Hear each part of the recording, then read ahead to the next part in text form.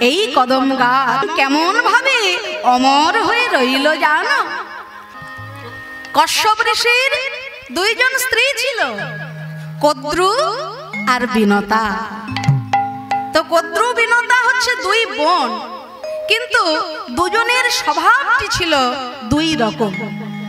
কদ্রুর স্বভাবটি ছিল একটু কুটিল ধরনের হ্যাঁ? আর বিনতা, নামটা শুনে বুঝতে পারছ কত বিনয়ী। তা বিনতার স্বভাব ছিল একটু বিনয়ী, আর কদ্রু একটু কুটিল ধরনের ছিল। তো কদ্রু একদিন ছলা পরামর্শ করে বিনতার কাছে এসে বলল যে হ্যাঁ রে দিদি, আমি দেখেছি ইন্দ্রের ঘোড়ার যে লেজ হ্যাঁ ইন্দ্রের রথের যে ঘোড়ার লেজ, সেই ঘোড়ার লেজটা আমি দেখেছি কালো। বিনতা বলছে, কই? না তো, আমি তো তা দেখিনি। আমি তো জানি ইন্দ্রের ঘোড়ার লেজের রং হলো সাদা। কদ্র তর্ক করতে শুরু করল, বলছে, না, আমি নিজে চোখে দেখেছি। ইন্দ্রের ঘোড়ার লেজের রং হচ্ছে কালো। যেই না এইভাবে দুজনের মধ্যে কথোপকথন হচ্ছে, হঠাৎ কদ্র বলে উঠল, তাহলে দিদি শোন, তাহলে বাজি ধরা হলো। কীরকম বাজি? যদি ইন্দ্রের ঘোড়ার লেজের রং কালো হয়, তাহলে কি হবে? না, তুই আমার দাসিত্ব বৃত্তি করবি। তুই আমার দাসী হবে। আর যদি সাদা হয়, তাহলে আমি তোর দাসী হব। এবার বিনোদা তো জানে যে ইন্দ্রের ঘোড়ার লেজের রং সাদা। সেই জন্য সে সেই কথাটাই মেনে নিল। এইবার কদ্রু চালাকি করে কি করল?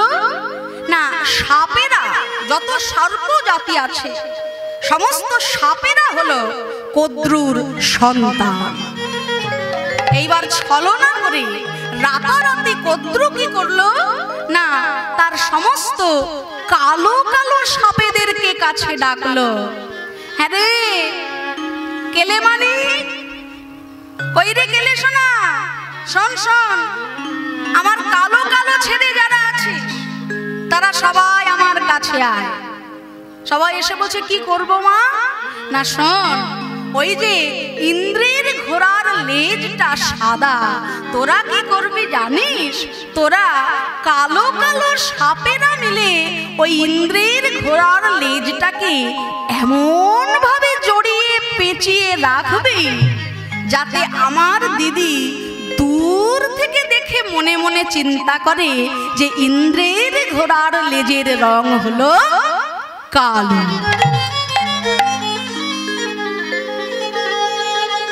এরকম ছলনা দেখলেন তো? এবার যথারীতি সাপেরা তাই করল। সকালবেলা যখন কদ্রবিনতা একসঙ্গে দাঁড়িয়েছে, ইন্দ্রের ঘোড়ার লেজের রং যখনই দেখতে গেল, বিনতা দেখতে পেল একই আমি তো জানতাম ইন্দ্রের ঘোড়ার লেজের রং সাদা হয়। কিন্তু আজকে আমি কি দেখছি? এ যে কালো। হ্যাঁ। দেখেছিস দিদি? আমি তোকে বলেছিলাম না? তাহলে নে, তুই আমার কাছে হেরে গেছিস। এইবার থেকে তুই আমার দাসী বৃত্তি করবি। বলছে, আমি তোর দিদি। আমি তোর দিদি। আমাকে দিয়ে তোর দাসবৃত্তি করাতে কষ্ট হবে না বল বলছে, না তো। যা কথা হয়েছিল তা কথা, তাই তো? তুই তো শর্ত হেরে গেছিস, এখন তো আমার আর কিছু করার নেই। বলছে, তাহলে বেশ। হ্যাঁ আজকে থেকে তুই আমার দাসবৃত্তি করবি, আমার খাবার জন্য জল এনে দিবি, আমার স্নানের সেবা করবি, আমার সেবার বস্তু সম্মুখে এনে দিবি, মাথার চুল আছড়ে দিবি, আমার জন্য বিছানা করে দিবি। আমার সমস্ত কাজ আজকে থেকে তুই করবি, আমার দাসী হয়ে থাক। বিনতা করজোর করে বলছে, বোন,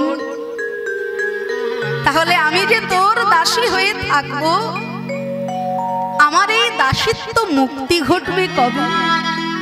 কথা যখন দিয়ে ফেলেছি, কথার খেলাপ আমি করব না। কিন্তু আমার এই দাসিত্ব মুক্তি ঘটবে কবে? না বলছে, শোন, দিদি, তোর তো কোনো সন্তান নাই। আমার তো এতগুলো সন্তান। তোমার তো সন্তান নাই, দিদি, তুমি হলে বাজা তোমার মুখ দেখেও কোনো যাত্রা না। যদি কোনোদিনও তোমার গর্ভে সন্তান হয় সেই সন্তান যদি ইন্দ্রের সভা থেকে অমৃত ভাণ্ড আমাদের জন্য আনতে পারে, সেই দিনই তোমার দাসী বৃত্তি হতে তুমি মুক্তি লাভ করবে। বেশ, তাহলে আমি তাই করব। সারাদিন ধরে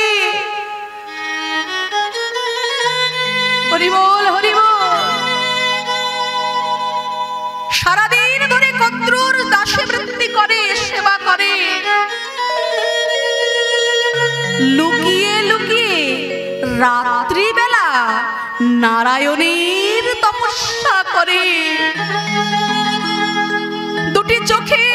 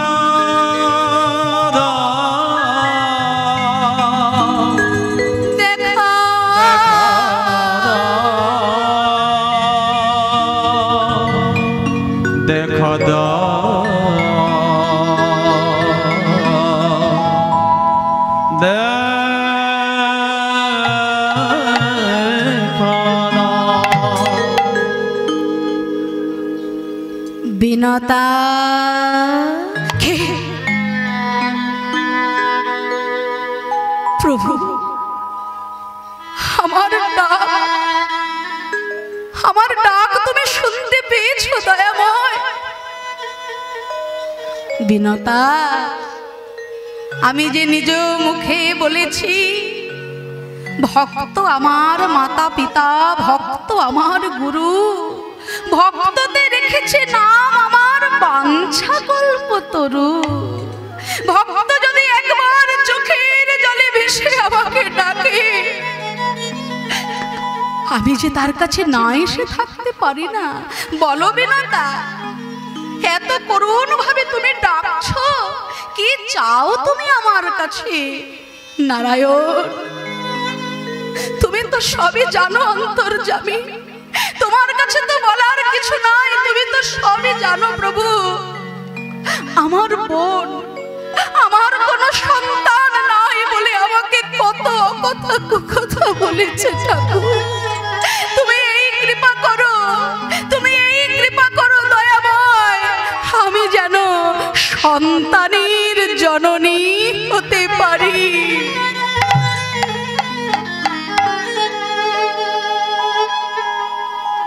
আমি যেন সন্তানের জননী হতে পারি।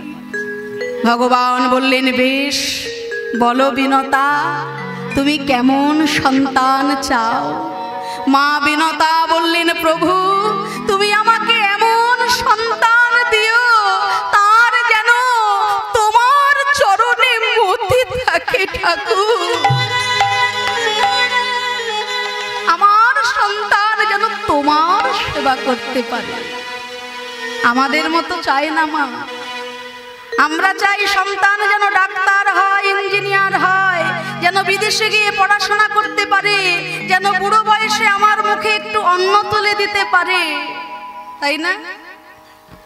কিন্তু সত্যি সত্যি যদি আপনার সন্তান কৃষ্ণ ভক্ত হয়ে যায়, সত্যি সত্যি যদি কোনোদিন আপনার সন্তান কৃষ্ণ চরণে মতে থাকে, তাহলে আপনার সে কখনোই সেবা করতে পারবে না। তাই তো বাবা। যদি কোনো ছেলে সত্যিই কৃষ্ণ ভক্ত হয়, তাহলে মায়ের সেবা না করে, বাবার সেবা না করে সে কোনোদিন নিজে আনন্দে থাকতে পারবে না। তাই বিনতা বলছে, ঠাকুর, তুমি আমাকে এমন সন্তান দিও, সে যেন তোমার চরণে নিজেকে সমর্পণ করতে পারে। ভগবান কৃপা করলেন তাকে। স্বয়ং নারায়ণ তাকে দুটি অণ্ড দিলেন। ভগবান কৃপা করলেন। অণ্ড প্রসূত হলো তার। কিন্তু অণ্ড প্রসূত হওয়ার পরে, কিন্তু সেই অণ্ডের ভিতর থেকে, সেই ডিমের ভিতর থেকে কোনো সন্তান তার প্রসব হচ্ছে না। রয়েছে দেখতে দেখতে একদিন, দুই দিন পার হতে হতে পাঁচশো বছর চলে গেল। কিন্তু কোনো অণ্ড প্রসব হলো না। মা মনে মনে চিন্তা করলেন, তাহলে কি ভেতরে ভেতরে এই অন্ডগুলো নষ্ট হয়ে গেছে? এই কথা চিন্তা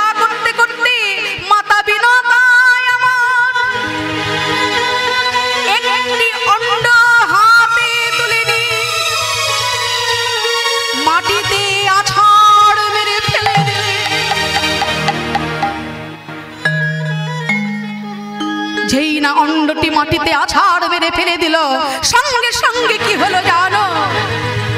সঙ্গে সঙ্গে ওই অন্ডের ভিতর থেকে অর্ধেকটা মানুষ, অর্ধেকটা পাখি বিকলাঙ্গ একটা দেহ নিয়ে একটা ছোট্ট শিশু মায়ের সামনে দুটি হাত জোড় করে দাঁড়াল।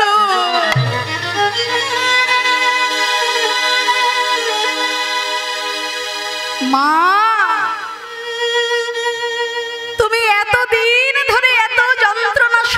করলে মা, কিন্তু আর কটা দিন যদি তুমি একটু যন্ত্রণা সহ্য করতে পারতে, তাহলে আমি পূর্ণ পুষ্টি পেয়ে সম্পূর্ণ সুন্দর রূপে এই জগতের বুকে আসতাম।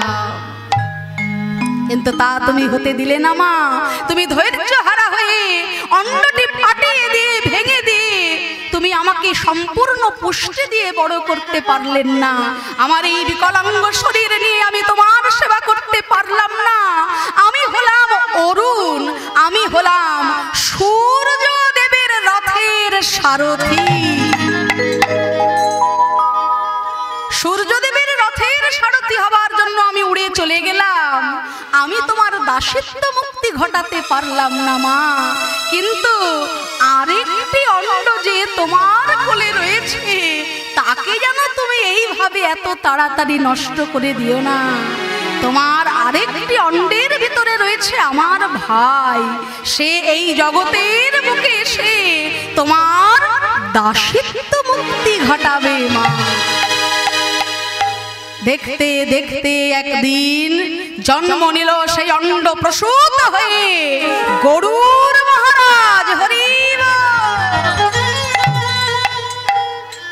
ওই গরুর মহারাজ কি করলেন? না, ইন্দ্রের সভায় গিয়ে ইন্দ্রের সঙ্গে যুদ্ধ করে অমৃত ভাণ্ড নিয়ে আসছিলেন কদ্রুদেরকে দেওয়ার জন্য। যাতে দাসিত্ব মুক্তি ঘটে যায় মায়ের। তাই ওই অমৃত ভাণ্ড আনবার সময় তারপর কি হয়েছিল? মায়েরা তো সকলেই জানেন। হ্যাঁ অমৃত কিন্তু সাপেরা পেল না। অমৃত সাপেরা পেল না। কুশের বিছানা করা হলো। সেখানে রাখা হলো অমৃত ভাণ্ড। দেখানো হলো সাপেদেরকে যে, এই দেখো, অমৃত ভাণ্ড আমি এনেছি। হ্যাঁ? এবার যখন তারা দেখে নিল, তারা বিশ্বাস করল না। বলল যে, এই যে সত্যি অমৃত ভাণ্ড কিনা, আমাদের প্রমাণ দেখাও। তখন মরা ঘাসের উপরে ওই অমৃত একটু ছিটিয়ে দিয়েছিল। মরা ঘাস বেঁচে উঠেছিল। তখন তারা মনে মনে ভাবলো, সত্যিই হয়তো এটা অমৃতের ভাণ্ড। তারা বিশ্বাস করে কদ্রু বলেছিল, আজ থেকে আমার দিদি দাসী বৃত্তি হতে মুক্ত মুক্ত মুক্ত। যেই না এই কথা বলল, ইন্দ্রের ছেলে জয়ন্ত অদৃশ্য রূপ ধরে। তার একটা এমন ক্ষমতা ছিল। ইন্দ্রর ছেলে জয়ন্ত হ্যাঁ তার একটা এমন ক্ষমতা ছিল যে সামনে রয়েছে, কিন্তু অদৃশ্য অবস্থায়, তাকে কেউ দেখতে পাবে। তো ইন্দ্রর ছেলে জয়ন্ত, যেই না দাসিত্ব মুক্তি ঘটলো, এই কথাটা বলে ফেলেছে, সঙ্গে সঙ্গে জয়ন্ত এসে অদৃশ্য রূপে ওই অমৃত ভাণ্ড নিয়ে আবার স্বর্গরাজ্যে ইন্দ্রের কাছে ফিরে কেননা সাপেরা যদি একবার অমৃত পেয়ে অমর হয়ে যায়, তাহলে যে কি অবস্থা হবে সেই জন্য সাপেরা অমৃত পেল না। আর গরুর যখন ওই অমৃত ভাণ্ড নিয়ে আসছিল, ওই কদম গাছের ডালের উপরে অমৃতের ভাণ্ডটা রেখেছিল। আর কদম গাছের ডালে দুই ফোঁটা অমৃত পড়েছিল বলে সেই জন্য বৃন্দাবনের কদম গাছ এখনও পর্যন্ত অক্ষ